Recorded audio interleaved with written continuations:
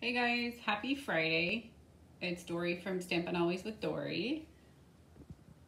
Here to reveal the mystery card. The design, the fold. And of course, I'm using my favorite sweet, sweet of the week, S-U-I-T-E, not S-W-E-E-T. Um, but it is sweet as a peach. And have you guys seen that one? If you haven't, I've been featuring it all week, so you'll have to check back and see some of the other projects that I've made with it. Oh, I got a thumbs up. Let me know if you're there. Give me a like or a love. Hopefully no, no angry faces. I just got started, so um, yes, Sweet as a Peach. It's on page 60 and 61 of the new idea book and catalog. It is perfect for summer. It's perfect for any time of the year. You can eat peaches any time of the year, but it's perfect for this time of the year. And this is such a quick and easy card that I think you guys are gonna hopefully love it, but you're going to want to use this design with several of your other designer series papers and um, you know, and things like that. So, again, if you're on, oh gosh, Siri. Seriously, Siri. She's listening in on my conversations here. All right, so here we go. You're a peach. Sweet as a peach. So we have the fabulous one shop number. Hi, April. Happy Friday. Thanks for joining me. Um, I love the one shop number because it includes all the items that are listed below. So it's the bundle, which is the stamp set and the dies. It is the Your Peach 12 by 12 designer series paper and the mini jam jars. Have you guys seen the jam jars? They're super cute. Um, I have one right here. And they are perfect for my favorite, which would be chocolate with maybe a little bit of caramel. But if you wanted to go with the peach theme, you could do like peach jelly beans. You could do um, like the peach rings, the jelly, like the jelly sugared peach rings. Um, so the possibilities are endless here. So um, yeah, so those are the little jars and they're actually not so little. So you could put a lot of great things inside of them and you can gift those as well.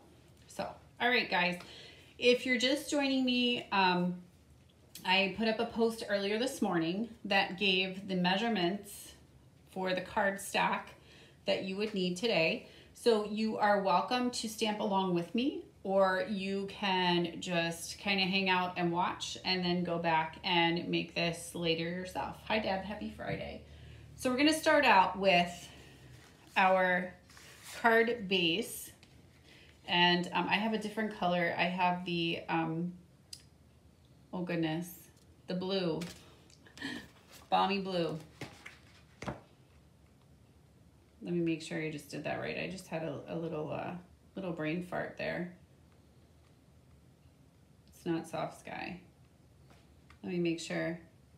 Need to purchase the jars. Yeah, they're super.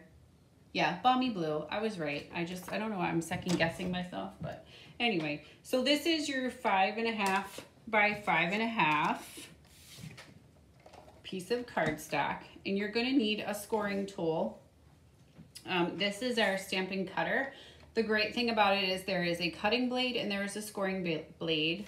Hi Pat, happy Friday.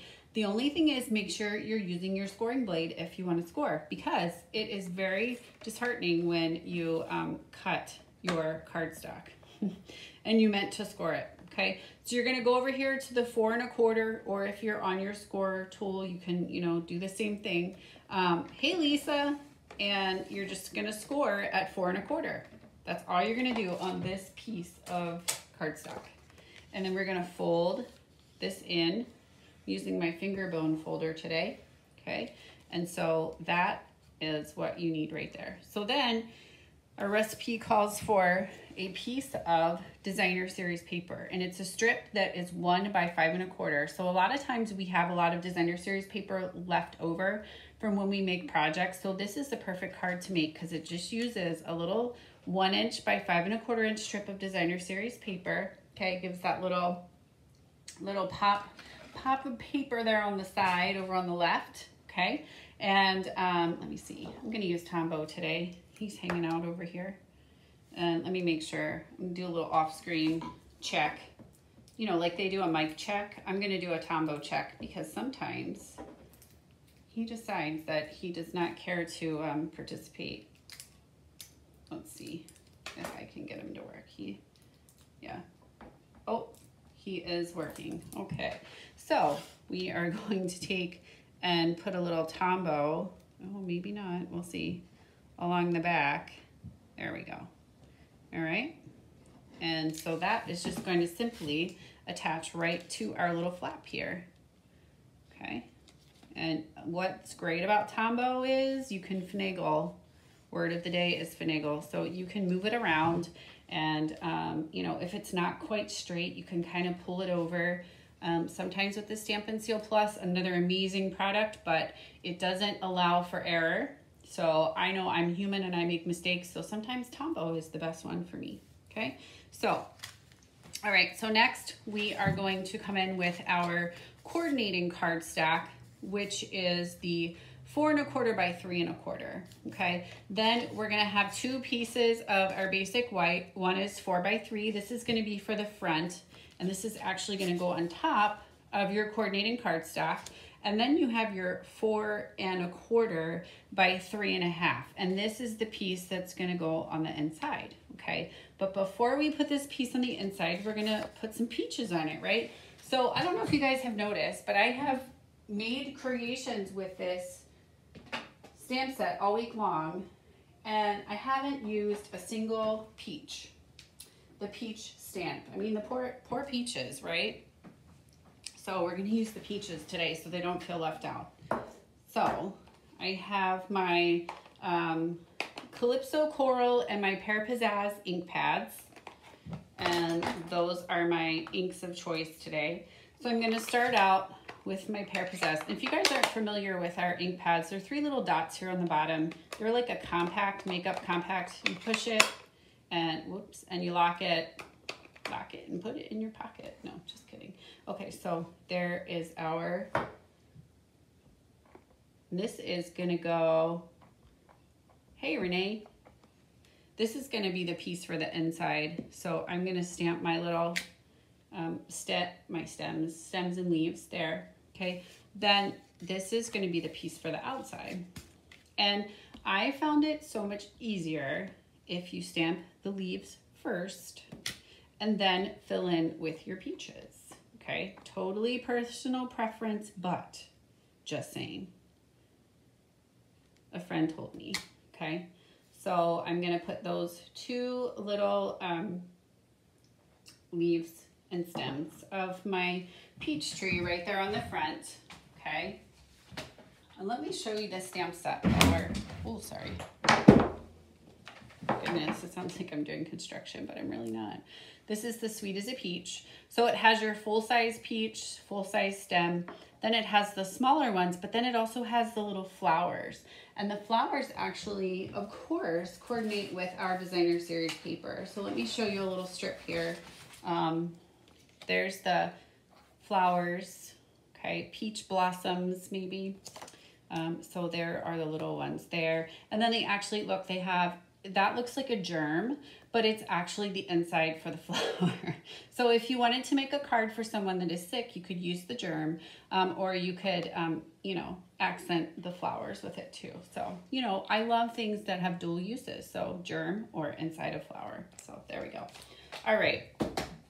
So I'm going to come back and I am going to use my peach, my smaller peach stamp, okay? And I have a little piece germ, I know. It, that's what it reminds me of. Not that I've ever seen a germ, but you know, that's what they look like when I type it into my iPhone.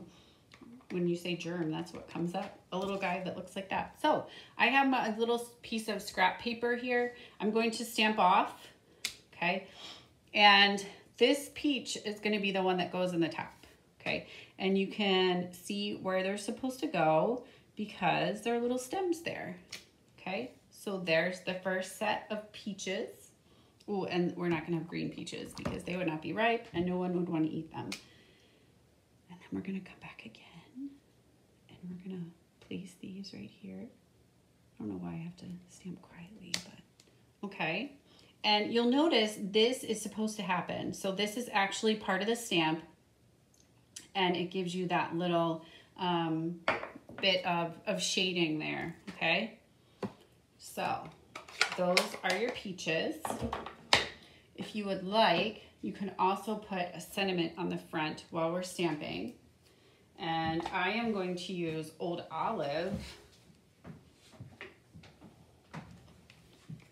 You could also, if you wanted to add, um, you know, like a die to the front, you could do that as well. I'll show you that in a second. But if you want to keep it simple and do some um, mass production, we can do that.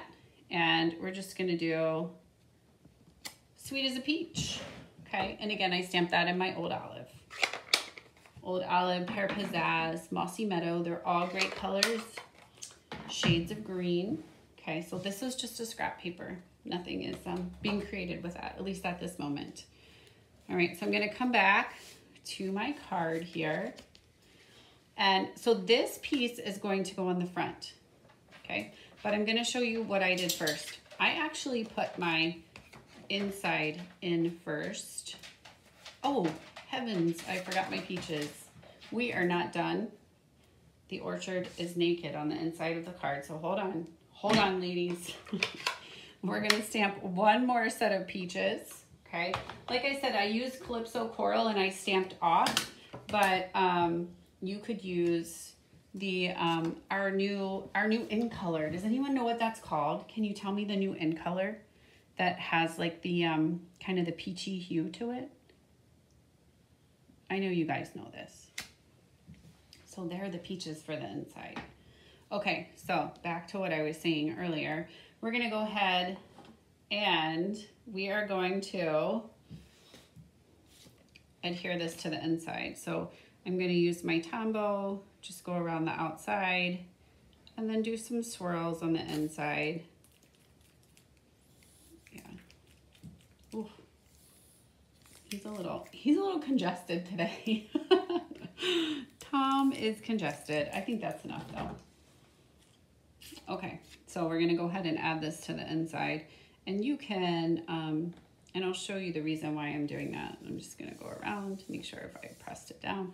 And so this is the piece that is going to go like so. So the reason I put my piece on the inside is so I could see where to put my cardstock on the front. And um, that way it gives you that nice little 1 8 inch layer around the outside. So it adds that other um, level to your papaya, pale papaya. April got it. Good job. All right. So seriously, Tom, Tom and I are going to have to have a serious chat because he is not performing well. I'm going to do this off screen so you guys don't have to watch me like wring his neck. okay, there we go. So we have enough for the side. And just, you're just gonna put your adhesive on this little piece here, right? Because if we put it all over the, the front, then our card will not open and we will not see the beautiful peaches on the inside, okay? So we have this piece here, all right? And then you're gonna take your sweet as a peach and you're gonna put that right on the front. Isn't this such a fun design? And you could make, you know, several of these and you can make more than one with a piece of cardstock, which is what I love when you can get several. Okay, so you have sweet as a peach right on the front.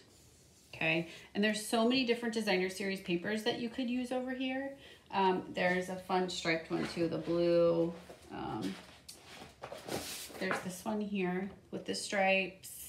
There is, let me see, there's polka dots Renee, my polka dot girl, right? Um, there's polka dots and even comes with something stuck to it. You can see I've kind of cut some things out of it, but you have the little polka dots you could put here on the side. Um, the possibilities are endless. Here's my the stripes that I was talking about. That one would be super cute too. Um, okay, so, but we're not done yet, right? No way. All right, so we're gonna come back first with my friend Stella. And um, I am just gonna go over top of the peaches and make them sparkle a little bit because you know what? Some days we all could use a little extra sparkle and today is that day for me. Okay, so there we go. So we have the sweet as a peach. Then, if you would like, you can keep going. Um, I'm gonna add some twine. So I have some white baker's twine that I am going to use, okay? And whenever I use twine, does anybody know my rule, my rule of twine? It's like my rule of thumb, but my rule of twine, I always double it, okay? Twine is very thin and I want my friends to be able to see it. So I always double it. And then I'm just gonna go ahead and bring it here. And I'm going to tie a bow. I'm going to attempt to tie a bow. Okay, here we go. And so I am going, whoops, well, Stella, I know Stella really um, adds a lot to a lot of different things, but especially the peaches, right? All right, so there is my twine on the side and we are going to trim that twine possibly um, in a minute. I buried my scissors somewhere. I know you guys are like, Dori, what the heck? But anyway, um, so you can stop there, but no, I don't want to do that either. So I have some embellishments. You guys know I am the embellishment queen. I love to add little gems and jewels and whatever I can find. Um, and this one I think is perfect. And we're to add them in sets of three. Everybody knows the rule, right? it's like, what is it? The leaves of three, let it be, but this is actually embellishments in sets of three.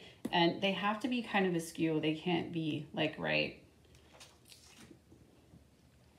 along the same line. That drives me nuts. That's just me though. Okay, so, so there's our little card. Super quick and cute, right? Here's the other one, sweet as a peach. Okay, um, you could also, if you wanted to, let me show you something else. So this is actually one of the new sets that is in the catalog and it is called Color and Contour. Um, I will be using it on Wednesday for Cards and Coffee. And it has these, let me show you, these fun dies that go along with it. So the, you have the outside one that has the little, um, I don't know, scallops but then you also, let me show you these. They're stitched, but then they have the rectangles on the outside too, okay? And then you also have this fun little um, corner, corner pocket there too. All right, so if you wanted to, you could actually add something like that to the front of your card as well. If you wanted extra layers, um, you could use your dies and, um, you know, you could, could go with that. All right. So that's just another option. And let me, um, let me trim this because it's driving me nuts. And then I'll show you the final, final, final look here. All right, Whew, so much better. So which one is your favorite? Um, this is actually Calypso Coral. That's one of my favorite, Pat. Thanks for asking. It is Calypso Coral, um, but it it's a super quick and cute design. So I would love to see what you guys make with it. And um, you could even, you know, put a mat of designer series paper here. You could make a smaller piece of the basic white just so you had a little bit more of the designer series paper showing. So that's totally up to you. But like I said, just another quick and cute design. This is Pear Pizzazz and this one's Balmy Blue. And then your um, base, your, sorry, your layer is the Calypso Coral. So um, yeah, but you can see you can use different designer series papers. And like I said, They are a quick and easy card. It's a great way to get rid of some of your designer series paper. So we're all about using the designer series paper, right? We're not hoarding, we're using. So um, yeah, and I did a cute little box on Wednesday. So if you missed the, the peach box on Wednesday, you can go back and check that out. You can also hop over to my YouTube channel, which is Stampin' Always with Dori. I would love for you to subscribe. And um, every time I post a video, then you would um, be alerted and you can check those out, check those out as well. One other reminder is tonight is the last Friday of the month, and we all know that that is card buffet. So join us tonight at 7 p.m. We will have six fabulous cards for you to choose from, and we will demo each card. So um, we would love for you to stop by and stamp with us again tonight at 7 p.m. It's supposed to be really bad weather, cold and rainy, so what better thing to do than stop in and check out the um, ideas that Barb and I have to share this evening. So thank you guys so much for joining me. If you need anything, you can stop by doryschneider.stampinup.net and um, there actually, there's a sale going on right now. And so check it out. If there's anything you need, they are um, what will be um, leaving the, um, what we call the JJ catalog, the January through June catalog. So um, yeah, check it out and you can, um, or if I can help you with your shopping, let me know. I'm always happy to help in any way. So you guys enjoy the rest of your day and I hope to stamp with you soon. Oh, Jerry Pickle, you're the Georgia Peach and it's 89 there. It's supposed to be like 55 here and like torrential rain starting in like an hour. So I hope you're having a great time in Georgia and enjoy that sun. Take care, guys. Bye.